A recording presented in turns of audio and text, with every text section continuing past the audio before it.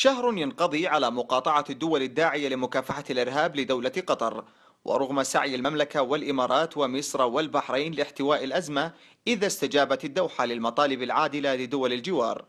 إلا أن الأخيرة لم تكن أبدا على المستوى المطلوب على الأقل لإنقاذ الشعب القطري من تبعات الأزمة. وتقديرا للوساطة الكويتية الكريمة بل كان الرد القطري ساذجا وخاليا من المضمون.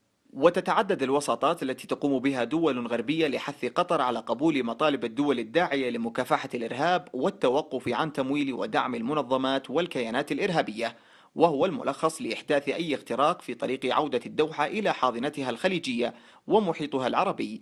ولا يبدو أن هناك حلا قريبا للأزمة مع استمرار قطر في سياستها الداعمة للإرهاب وهو ما كشفت عنه الأحداث مؤخرا حيث تشير أصابع الاتهام إلى الدوحة التي اعتبرها المراقبون مسؤولة بشكل مباشر عن العمليات الإرهابية ضد قوات الجيش المصري في سيناء ردا على استضافة القاهرة لاجتماع الدول الداعية لمكافحة الإرهاب الأربعاء الماضي. ولا تستهدف الدوحة مصر فقط بل سعت أيضا لزعزعة استقرار وأمن المملكة وهو ما كشف عنه وزير الإعلام عواد بن صالح العواد من أن قطر تدير 23 ألف حساب معاد للمملكة العربية السعودية في موقع التواصل الاجتماعي تويتر.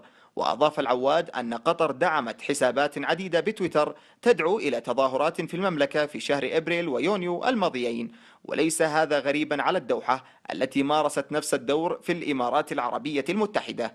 وتمضي الدوحة غير عابئة بالأمن والاستقرار في الخليج العربي لتتحالف مع إيران من أجل تقليل الخسائر التي لحقت بها جراء المقاطعة.